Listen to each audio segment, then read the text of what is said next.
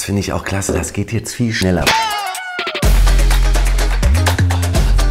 Das ist nicht nur so ein ganz kleines Facelift, sondern da hat sich schon eine ganze Menge getan.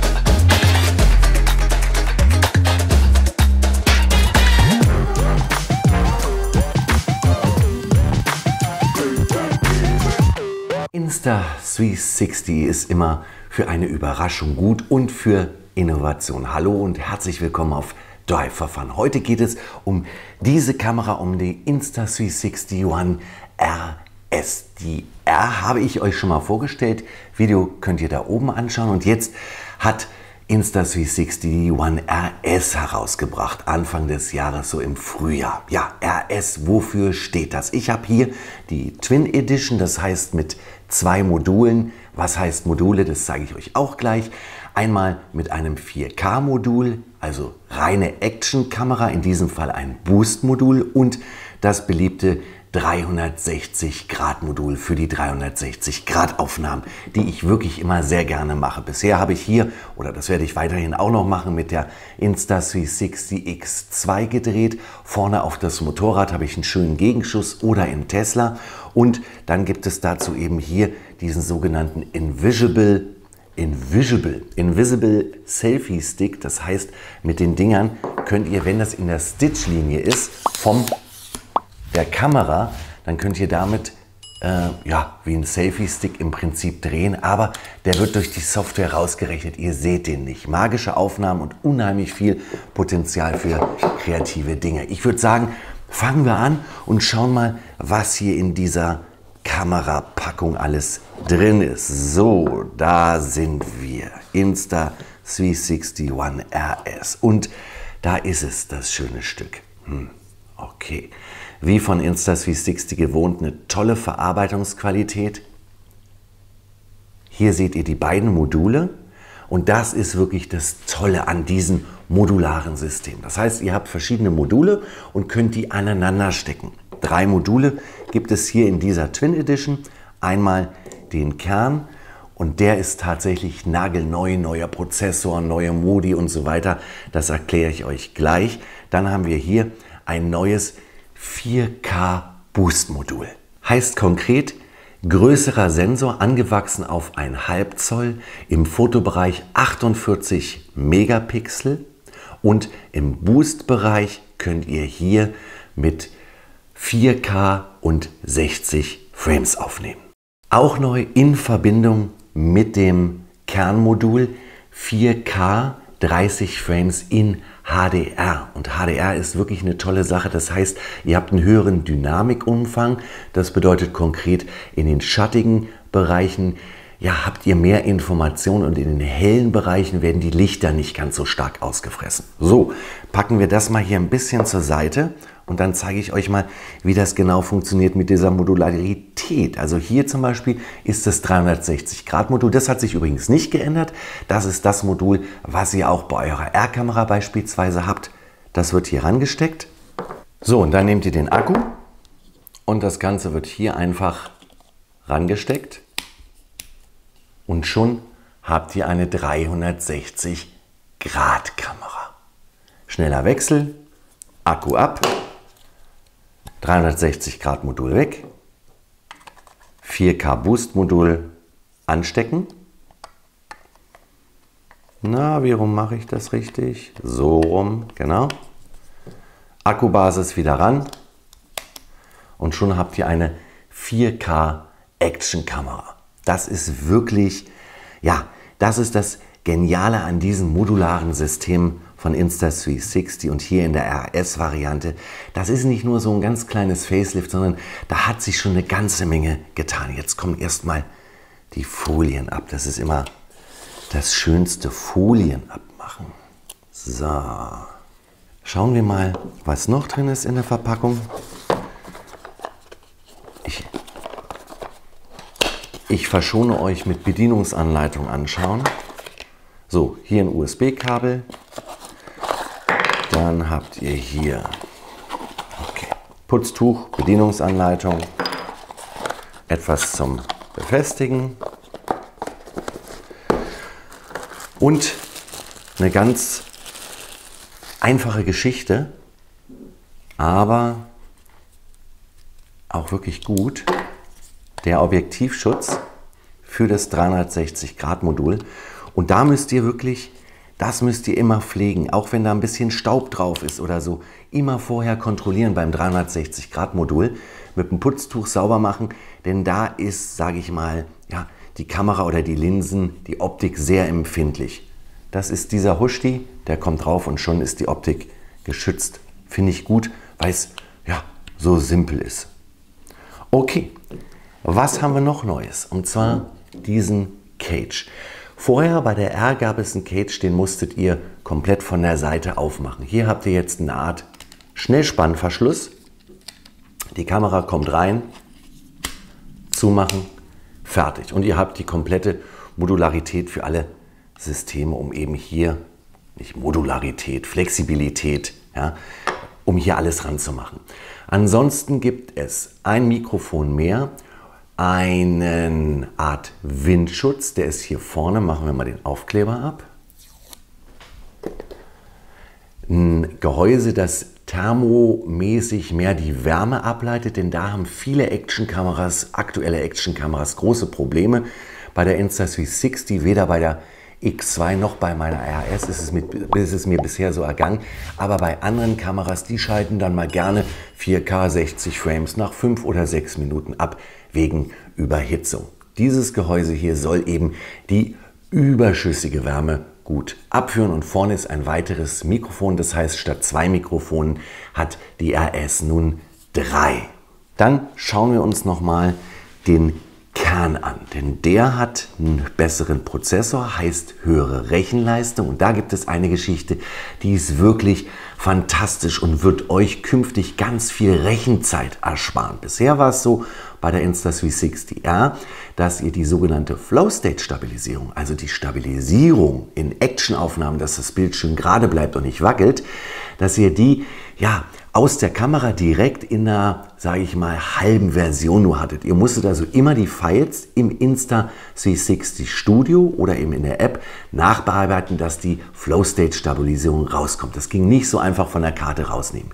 Hier nun durch den stärkeren Prozessor macht das die Kamera alles intern. Konkret, ihr kriegt MP4s, die komplett stabilisiert sind. In 4K mit 60 Frames oder in 4K mit 30 Frames in HDR. Super ist das. Außerdem ist dazu gekommen beim 4K Boost Modul ja, mit 48 Megapixel Sensor und auf 1,5 Zoll gewachsen ein 6K Kino Breitbildmodus. Ganz spannende Geschichte.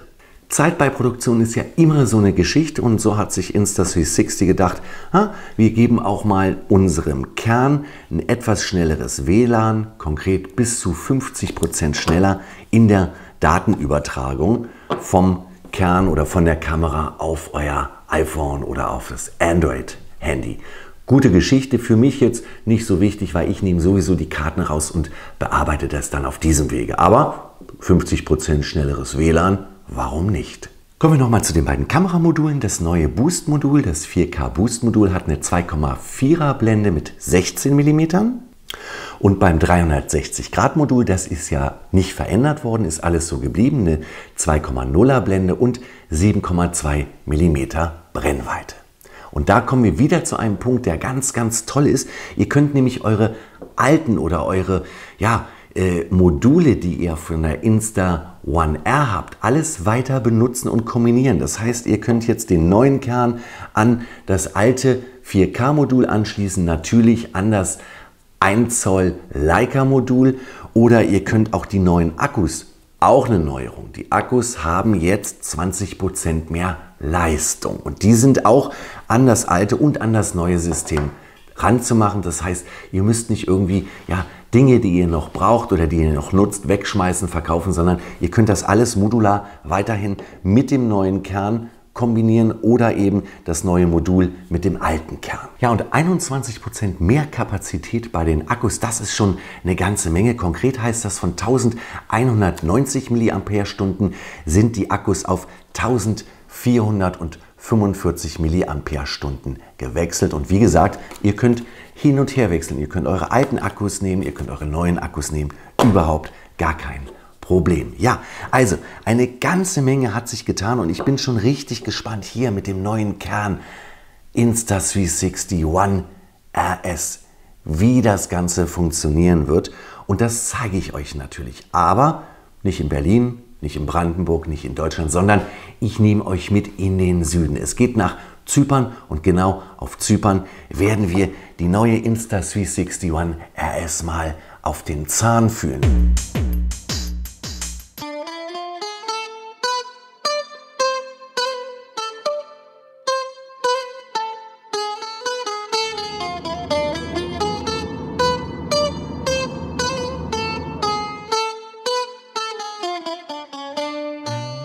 Sind in Zypern oder auf Zypern in Limassol angekommen.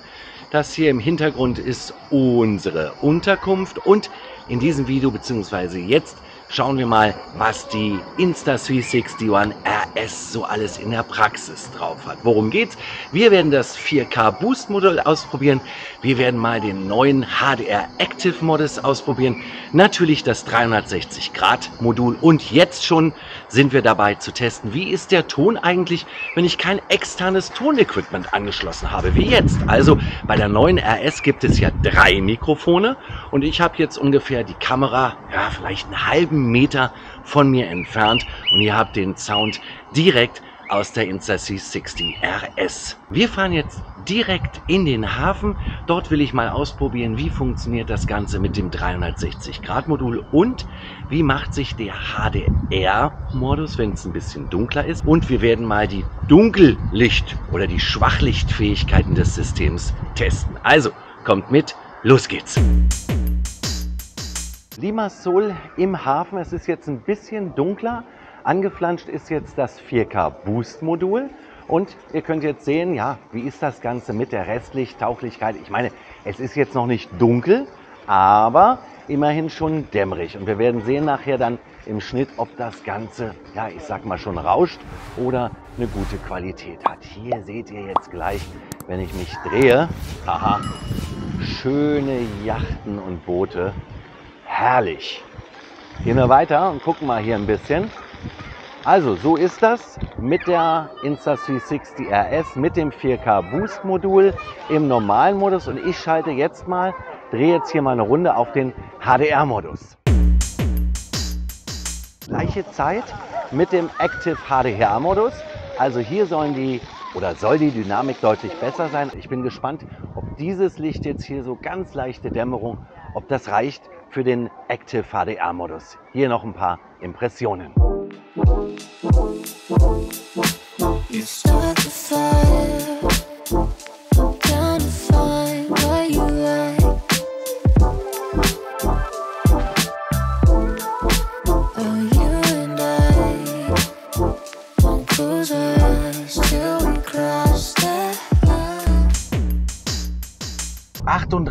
Grad in Limassol und ich teste jetzt mal die HDR-Funktion, das Active HDR vom 4K Boost Modell, Modul. Das Ganze ist jetzt eingestellt im Auto und da ist das immer wunderbar, weil man hat ganz oft natürlich wechselnde Lichtverhältnisse. Das heißt, im Auto ist es eher dunkel, draußen hell, die Lichter sind ausgefranst und da gucken wir jetzt mal, wie das Ganze sich so, ja, handhabt vom Bild her. Das ist jetzt wie gesagt der normale Modus 4K 30 Frames ohne Active HDR und wir schalten jetzt gleich mal um auf Active HDR. Das ist der Active HDR Modus im Ultra Wide Model des 4K Boost Modells. Eingestellt ist es übrigens auf 30 Frames. Mehr geht da auch nicht. 60 Frames geht im normalen Videomodus, im Active HDR, im Active HDR gehen 30 Frames. Das Ganze im normalen Modus 4K Boost ohne Active HDR mal im Ultra-Weitwinkelbereich. So sieht es jetzt aus. Vorne auf der Halterung sehe ich gerade, wackelt die Kamera ganz schön. Aber ich denke, dass die Flow State Stabilisierung das ordentlich wegmachen wird. Active HDR im Ultra Wide Modus 4K mit 30 Frames.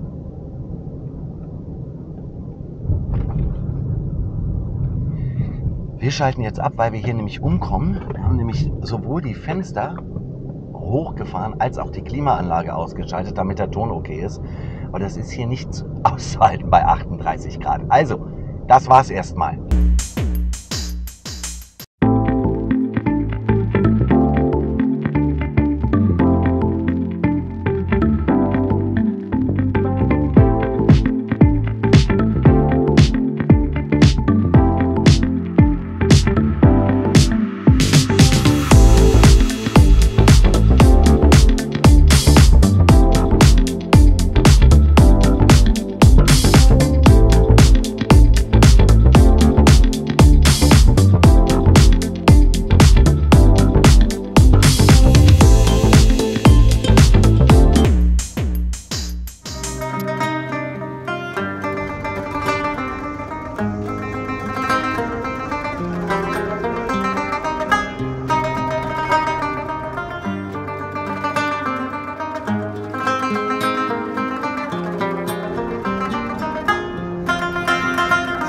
So, und besonders wichtig, wenn ihr das 360-Grad-Modul macht, dass hier die Stitching-Linie eingehalten wird. Also die Kamera darf nicht abgewinkelt sein, sondern es muss ganz gerade sein. Dann wird dieser Invisible Selfie Stick komplett ausgerechnet. Und wir gehen jetzt mal zu ein paar Wasserfällen und schauen mal, was es da alles gibt.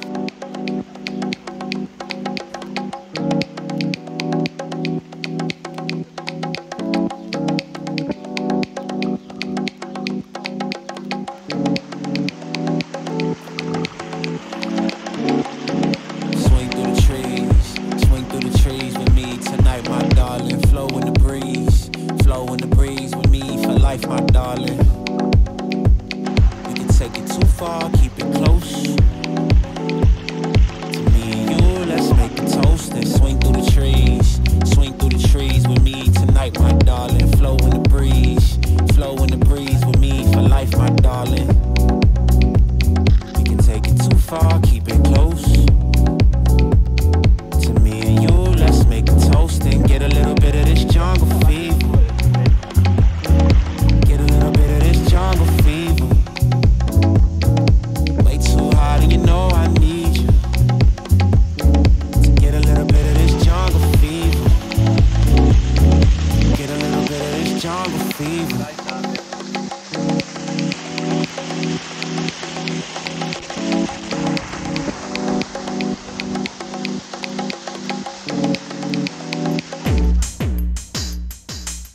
hört ihr jetzt den Sound im Hintergrund, die Grillen. Ich sitze am Pool und gucke mir mal das Originalmaterial an von unserem Ausflug ins Gebirge. Und eine ganz tolle Funktion ist das, was ich jetzt mache.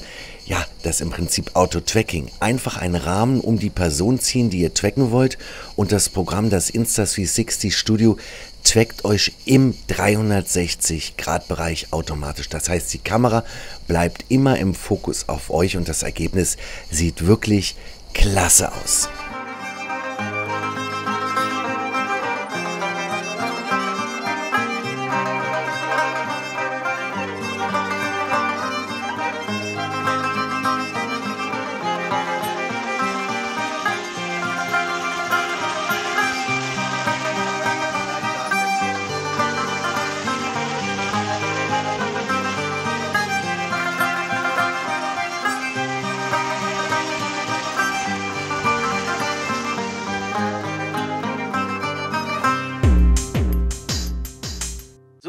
Südosten von Zypern am Nissi Beach, ganz berühmter Strand, weil ja, die Meerqualität und die Wasserqualität fast schon karibisch-türkis. Und das zeige ich euch jetzt mit dem 360-Grad-Modul. Ich bin jetzt hier direkt am Strand und jetzt gucken wir mal die Flow-State-Stabilisierung. Wie funktioniert die beim Rennen? So, hier im Sand und bei der Hitze, 36, 37 Grad, wird das natürlich nicht so ein Marathon werden, denn dann bin ich ziemlich aus der Puste. Aber hier sind massive Vibrationen natürlich durchs Laufen, durch den Sand. Und hier seht ihr, wie die Stabilisierung funktioniert. Walking all in my inner, that's a bitch move. Pressed that I arrive, mad that I survive. All your sad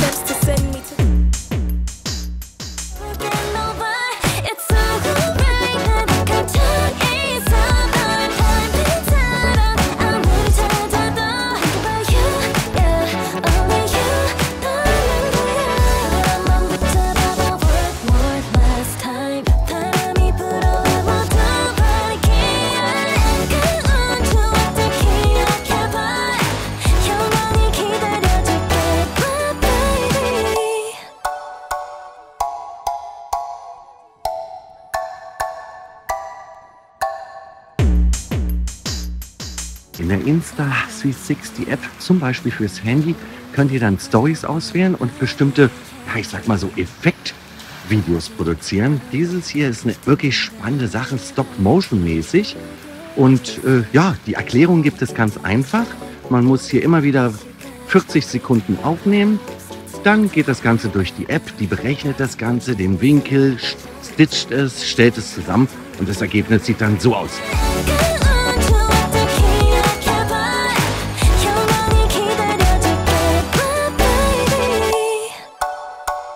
Aus der App direkt rausgerechnet. super. Irgendwie, ja, das macht Riesenspaß. So, und hier nochmal ein Beispiel mit dem 360-Grad-Modul, auch erstellt mit der Insta360-App, erhältlich übrigens für iOS und Android. Es ist eigentlich ganz simpel, ihr macht eure 360-Grad-Aufnahmen, gebt dann mehrere ja, Files im Prinzip in der App an und den Rest macht euer Telefon. Berechnet das Ganze und das Ergebnis könnt ihr dann direkt aufs Handy runterladen. Super sieht das aus.